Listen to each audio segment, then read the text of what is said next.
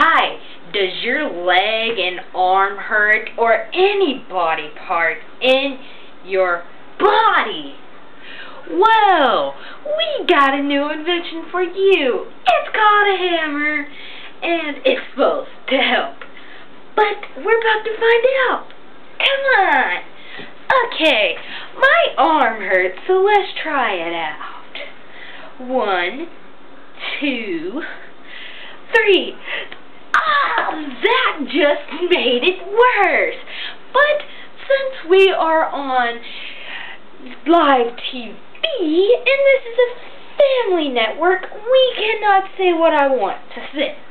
So let's see if it helps with my leg. My leg really hurts. I'm a used hammer. Oh. Okay, well, it really works.